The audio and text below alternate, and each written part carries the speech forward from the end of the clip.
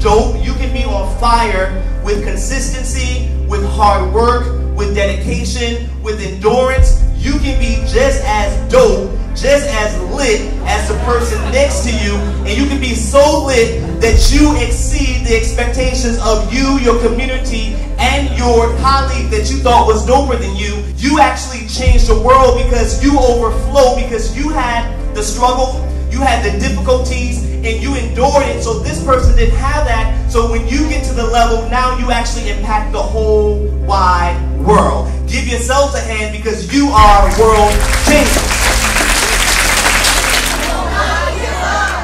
You were born to fly. And some people are going to throw things at you. They're going to try to cause you to be knocked down. They're going to try to cause you to not be able to make it in life. But what I say to you is that regardless of what opposition comes your way, you can, okay? You can still fly. All right?